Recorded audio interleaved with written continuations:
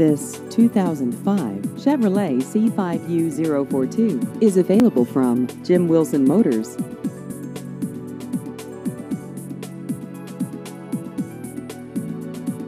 This vehicle has just over 43,000 miles.